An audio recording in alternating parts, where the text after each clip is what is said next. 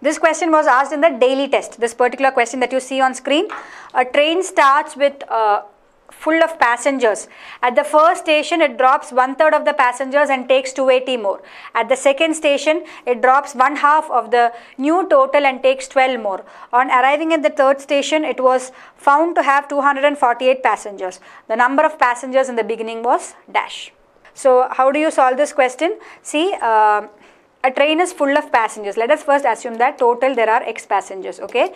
Now in this x passengers, at the first station, what is he doing? He is dropping 1 by third of the passengers. So he is dropping 1 by third means how many passengers are there remaining? See he is dropping 1 by 3x of them are dropped. So remaining will be uh, nothing but 1 minus 1 by 3 of x. That is 2 by 3 of x right. This is the remaining. He is dropping these people okay? Remaining is 2 by 3x then what is he doing? He is taking 280 people more. So now the number of people in the train is uh, 2 by 3x plus 280 now what is he doing at the second station?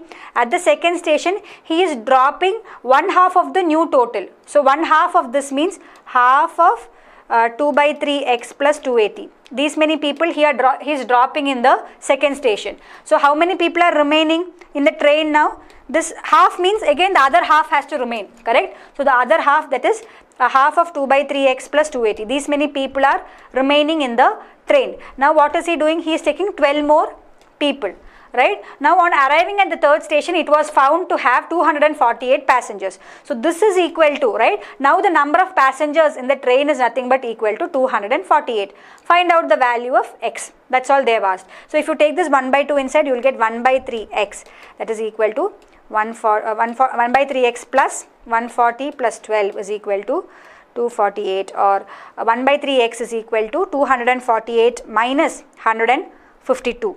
So 248 minus 152 uh, will give you 96 or I can say 1 by 3x is 96 or x is equal to 96 into 3 that is 288 option B.